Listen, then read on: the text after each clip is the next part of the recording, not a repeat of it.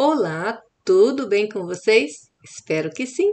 Aqui é Márcia Gazete, você está no canal Orquídeas e Plantas Abençoadas. E hoje, gente, como tá uma chuvinha e eu não consegui mostrar nada lá fora para vocês, eu resolvi fazer um vídeo num formato diferente. Então vamos ver se vocês vão gostar. Espero que gostem.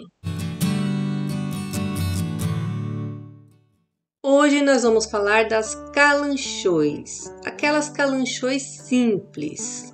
A calanchoi é um gênero de plantas suculentas da família Crassulaceae. Elas são de origem africana e tem vários nomes. Os mais comuns são flor da fortuna, calandiva e também tem outros nomes muito estranhos, como coreana, Eva da Costa, flor da costa, mãe de muitos ou saião.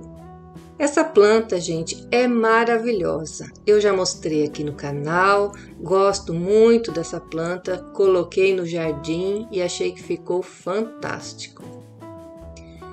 É uma planta que não gosta muito de rega que fique muito encharcado, ela gosta mais que molhe os substratos, evitar molhar a floração, porque você acaba diminuindo o tempo da floração dela. A gente aconselha também evitar aquele uso do pratinho debaixo dos vasos, porque pode acabar apodrecendo as raízes. Sem contar que hoje, com o perigo da dengue, é bom evitar mesmo. As calanchões elas gostam do solo bem fértil e bem drenável. Muita gente pergunta a diferença entre as calanchões e as calandivas. A diferença é muito simples. As calanchões possuem as flores simples, normalmente de quatro pétalas, e as calandivas são aquelas mais dobradinhas, com mais pétalas e que chegam a imitar uma rosinha. Se você está gostando desse vídeo, eu já quero te convidar a se inscrever no canal para você poder receber as notificações quando eu fizer um vídeo novo. E aí você não vai perder nada do nosso conteúdo. Então vamos falar do clima. O clima dessa planta, ela gosta de um clima quente e úmido. Úmido não significa encharcado, hein, gente? Tem muita gente que confunde isso. Umidade ambiente. A luminosidade tem que ser grande, ela precisa tomar pelo menos algumas horas de sol no dia. Aqui em casa, normalmente elas tomam o solzinho da manhã até mais ou menos umas 11h30 e isso favorece muito a floração. A época de floração dela normalmente é iniciando no inverno e depois termina na primavera. E existem, gente, diversas cores. E aí você pode fazer um espaço bem ornamental, bem bonito, com as cores que você quer.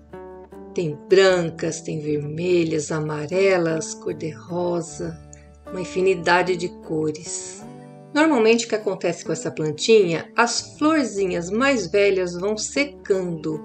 E aí, se você quiser que ela continue bonita, você vai podando aquelas florzinhas secas e deixando os botõezinhos que ainda estão por abrir.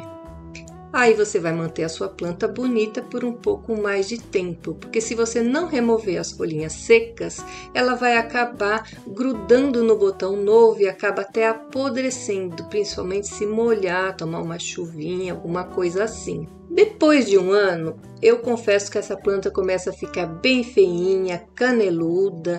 Então, é, o que, que eu costumo fazer aqui em casa? Eu podo e planto as mudinhas, que pode ser você tirar aquelas arvrinhas, aquelas estaquias, aquelas pontinhas, e até mesmo você pode plantar as folhas, assim como se faz com as violetas, que ela brota também.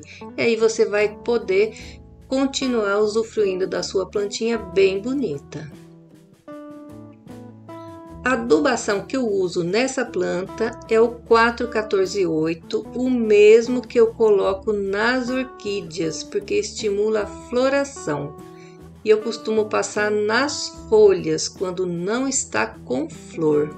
Uma dica muito importante que eu quero deixar aqui, gente, é sobre a seiva dessa planta. A seiva que existe nas folhas, elas podem ser muito tóxicas para os animais de estimação, principalmente quando eles são filhotes. Porque o que, que acontece? Os gatos e cachorros que são filhotes, eles são muito curiosos e acabam indo lá e comendo as plantinhas. E aí você tem que tomar bastante cuidado, que se você tiver um filhote, tem que ficar de olho, porque é bem tóxica, principalmente para os gatos. Aqui em casa, os meus não gostam dessa plantinha, porque eles já são adultos, então não tenho esse problema. As calanchões são ideais para você colocar em sua jardineira, enfeitar o jardim, porque fica um colorido e tanto, gente. E realmente, quando a gente olha aquele colorido, traz um ar de felicidade que a gente não consegue explicar. E aí, você cultiva calanchões?